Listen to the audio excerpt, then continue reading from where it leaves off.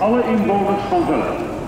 Vandaag op de nieuwe website van Velp voor Oranje vindt u films en verhalen over de bevrijding van Velp.